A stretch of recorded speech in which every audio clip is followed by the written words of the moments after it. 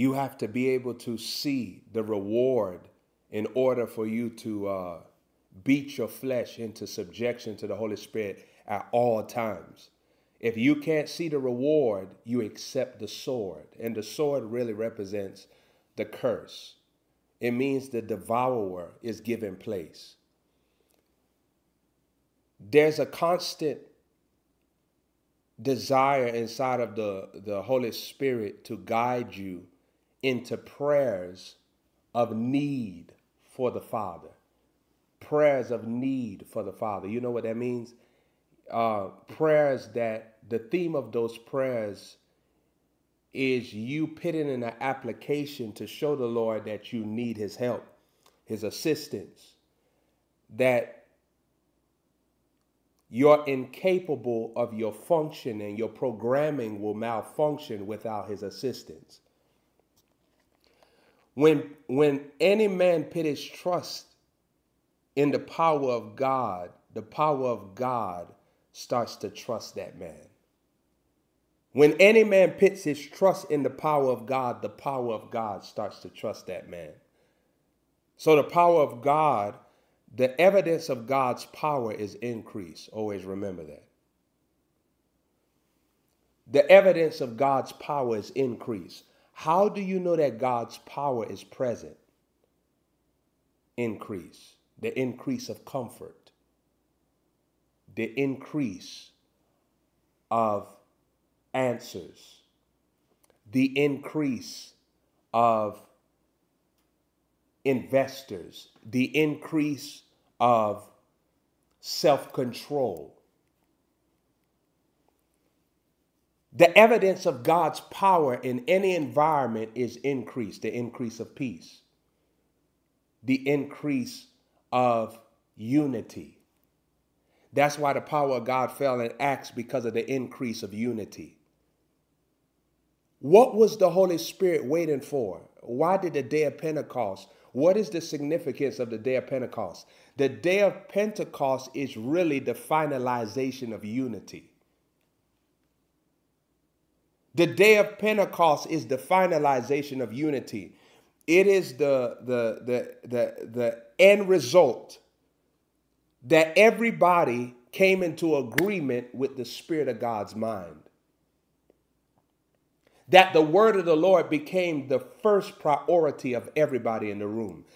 The day of Pentecost is more than just a denomination. It, it, see, they made uh, denominations off of, see, there was John the Baptist, then they made a denomination called Baptist.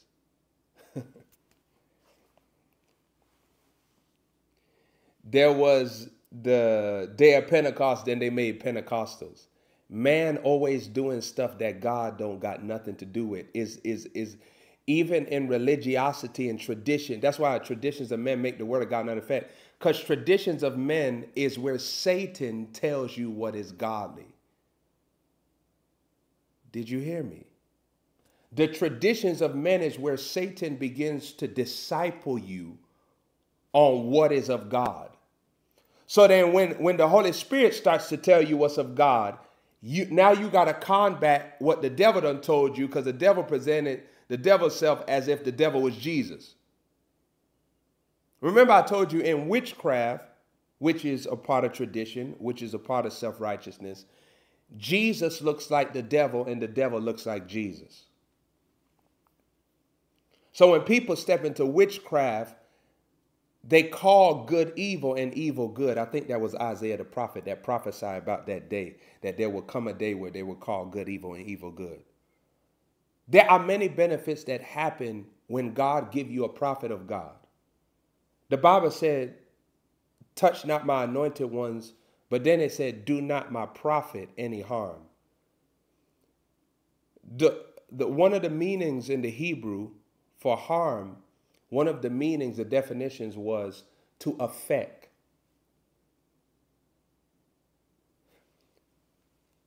The text is when it says, Do my prophet no harm, don't affect your prophet negatively. Don't bring sadness to him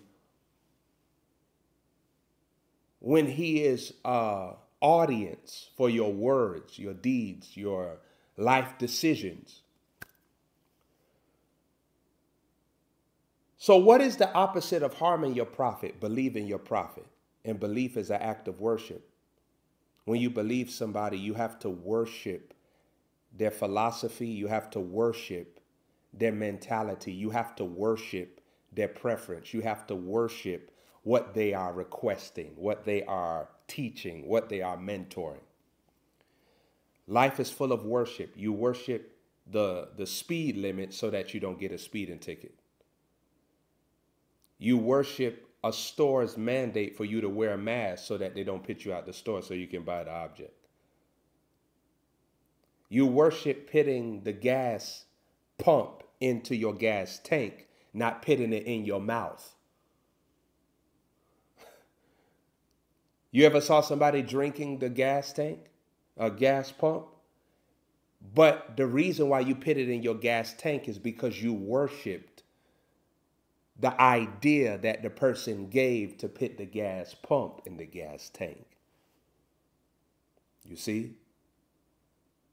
There are people taking prescription pills today because you worship your doctor. It was your doctor that prescribed the pill. You take the pill because you worship the doctor. It was the doctor that told you to take the pill. So life is full of worship. It matters who you worship. Worship, the word means that you become a servant of somebody's desires. Well, that's what worship means. It means that you become a doer of somebody's rules. The Bible says, if you believe the prophet, so shall you prosper. So when the Bible said, I wish above all things in 3 John, I wish above all things that you prosper and be in health, even as your soul prospers. I, I wish above all things. See, the Lord's biggest wish is that you prosper.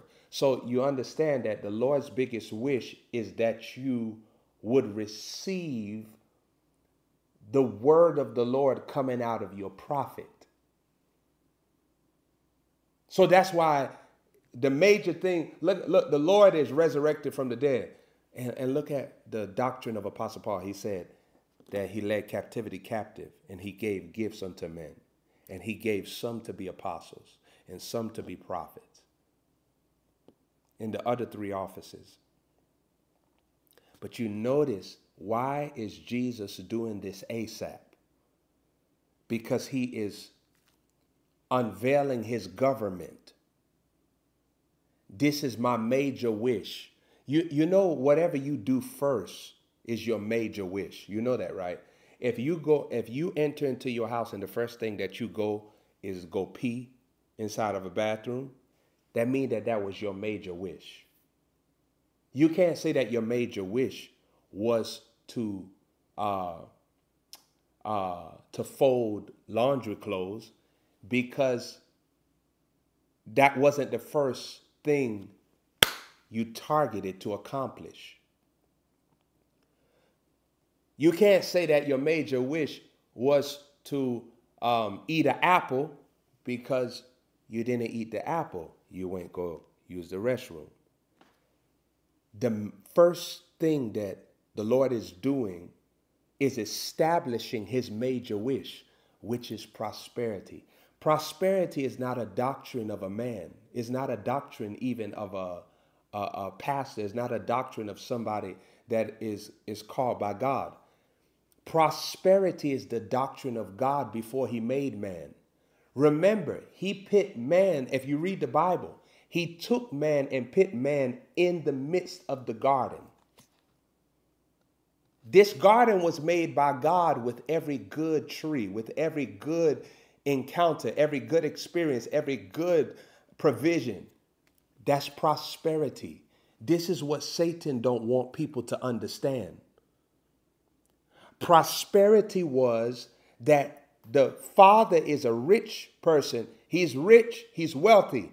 He has a son, Jesus. He's rich, he's wealthy. His son is carrying his inheritance. He gives his son the power to create the heavens and the earth. Hallelujah. And his son decorates the heaven and the earth. It's the beautiful scenery that we see today, every day. And guess what?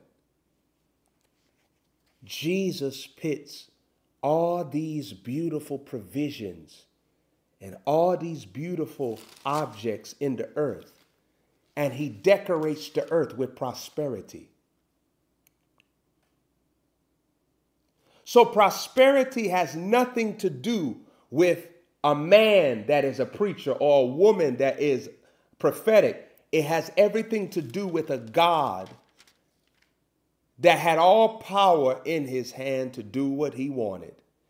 And he has all these possessions. And he says, I want to make a creation that's in my image and likeness for them to enjoy my possessions and walk in my dominion like I walk in dominion. I want them to create like me. So when God gave Adam the seed, he was giving Adam a, a device of technology from eternity. It wasn't a doctrine that Adam created or Abram created.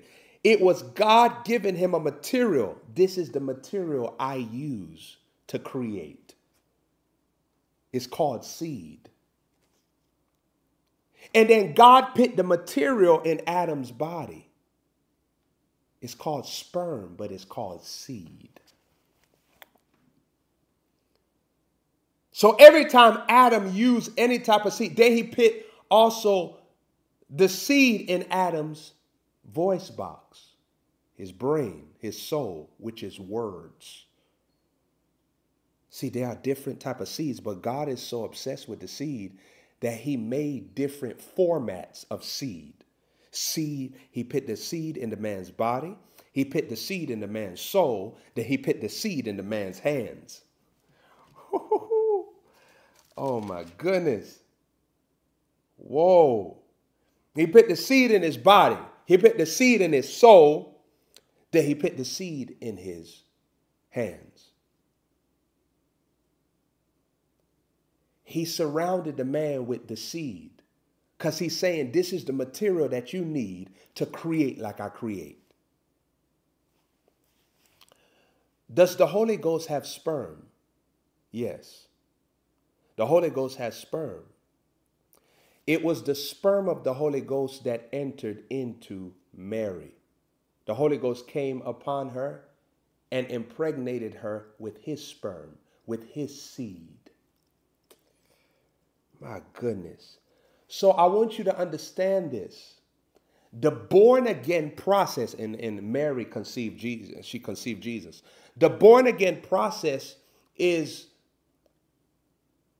the Holy Spirit comes upon you so that you could be born of the seed that he has. And what is one of the names of his seed? His sperm is called Word of God. Oh my gosh. His sperm is called Word of God. His sperm is called Word of God. Oh my goodness. Hallelujah. Hallelujah. So when you become born again, the seed, the sperm of the Holy Ghost, that's what you are made up of. And the same way, if a man is a drunk and he has a child, that child got to break the spirit of drunkard because that addiction, that yoke is being transferred through his seed because that's where his life is when he impregnates the woman. So whatever he is is now being transferred to that child. So you understand that men are governing their children and the nature in which they have in the beginning. Now, watch this here. That's why you got to be real easy on some people because um, sometimes you might look at somebody might be a man of God or something, and then like their child, their child could turn out to be a homosexual or something like that. Where you got to be easy because that child could learn homosexuality. are you seeing? I mean, the child going to have encounters with evil. The child could let evil in it. The child could not guard its heart, and that child could let evil in. That doesn't mean that that man of God is a homosexual, but what it does convey that um, corruption could happen if that child desires. I don't want to go after the things of the spirit. Remember Samuel's sons. Samuel is a man of God, a prophet of God, but his sons are wicked.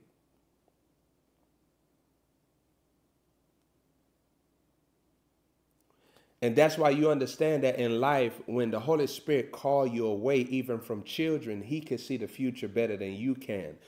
When the Holy Spirit separates you from people, He knows why He's separating you from them because He can see the future. That's why to be led by the Spirit is to be led into safety, to led, be led into consolation, which is comfort. Because He can see the future about people.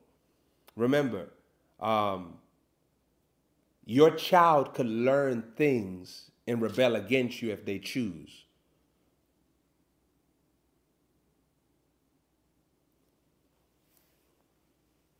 Remember, these are called the sons of God in the book of Job. So these are God's sons. These angels are his children.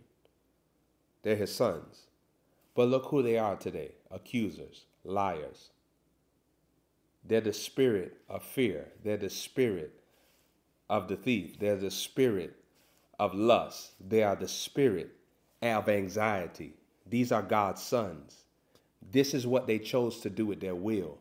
So, in the case of a parent being a man of God, their child could turn and use their will to do evil and accumulate a lifestyle and an image that goes against the divine sperm, the, the, life of righteousness that a man of God is living. That's very possible. Life is full of surprises, by the way. And um, the more that you pray in the Spirit, uh, prayer prepares you for what's coming.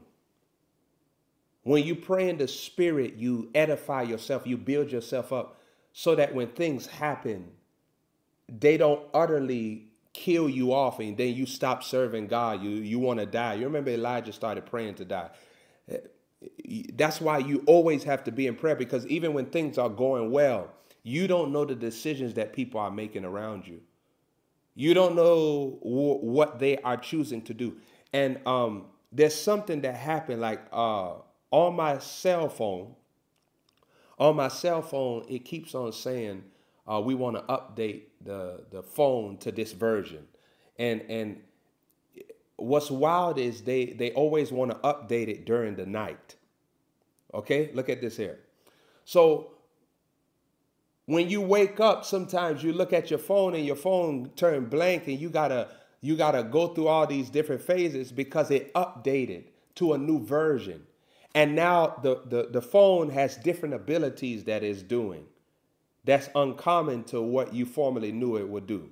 Well, also in life, there are people that get updated by demons. And when the demons update them, they, they have new abilities to rebel against God, new abilities to defy their image of God, the likeness of God, and to do things that they normally would not do. And they're updated. There are people that are updated into oldness. So the update is to be evil. Now, there's an update in the Holy Ghost. When people get updated, your righteousness is higher. You bear more fruit. You remember I, I, I had that scripture in First John, uh, he that doeth righteousness is righteous. Let no man deceive you. He that doeth righteousness is righteous. I think that's First John chapter 3, verse 7. So the more that you're doing righteousness, the more you're doing things God's way, the more that his way is being made clear to you. There is a harvest time for your life when you're sowing. God is a partying God. That's why King Jesus turned the water into wine, but he turned the water into a wine in at a party. The power of God fell at a party. The book of Revelation talked about the marriage supper of the Lamb. King Jesus is a partying Jesus. He likes to party. But he has you sow so that you can access the party, the grace to party with God. Due season is a party time of your life where God restores back unto you the years. Joel chapter 2, verse 25 and on. Restore back unto you the years that the locust, the cankerworm, the palmer worm, the caterpillar had ate, eaten from you. All those times where you were robbed of what you were supposed to unlock through sowing because other things was taking up your time. That's why every time God ministers seed to you, he is eager to party with you. If you keep on sowing, you'll keep on partying all the days of your life. Due season is a party time.